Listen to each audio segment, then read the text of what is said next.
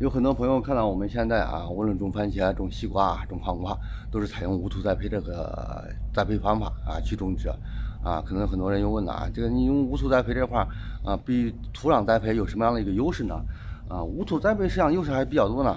第一个呢，就是对这个肥料的利用率啊会显著提升。一般土壤栽培这块肥料利用率啊只有百分之三十左右。啊，那么剩下的百分之七十呢，就是随着我们的水呀，就渗入到土壤当中去了。啊，渗入到土壤当中去以后呢，然后呢，它对土壤会造成一些破坏。盐渍化实际上就是这个肥料啊，在土壤当中啊一个沉积的一个现象。啊，同时呢，造成了一个土壤的板结啊，啊，这个土传病害啊这样的一个增加啊，然后导致这个产量受到一个很大的一个影响。而无土栽培这个这个肥料的利用率非常高的，几乎能达到百分之八十、百分之九十啊这样的一个量，因为它是一个线根栽培，它就在这么一个小袋儿里面或者这么宽的一个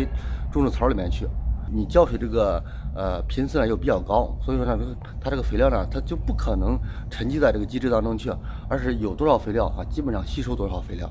所以肥料利用率是比较高啊这是第一个。第二个它能有效的解决这个虫茬病害。我们这一茬好比种了西瓜，那么第二茬我们下一茬还种西瓜的时候。啊，一般情况下就会受到这个虫茬的危害了。但是通过无土栽培这一块呢，我们在换茬的时候，我们可以通过水这一块呢去处理我们这个基质。啊，处理好以后呢，它基本上啊就不会产生一个虫茬的一个危害。第三个好处呢，就是我们通过无土栽培这块，我们可以可以达到一个科学的施肥的一个配方。因为我们几乎每天浇水的时候都带肥料，就是薄肥勤施嘛，啊这样的方法。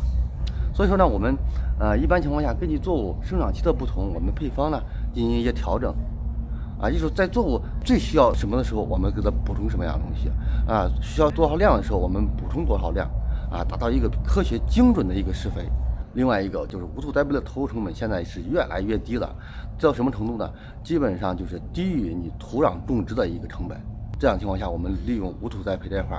啊更容易啊去赚到钱。还有一个呢，就目前制约这无土栽培呢，原因呢，主要是大家对这个无土栽培不熟悉啊，担心门槛过高，自己能不能种植啊，这样的一个。实际上呢，直播室啊，它在这个水肥管理上有区别，另外呢，在田间管理这块、植保方面管理这块儿啊，基本上没有什么样的一个区别。所以说，一般情况下，只要你有点基础知识啊，稍微呃了解一下以后，自己都能去操作。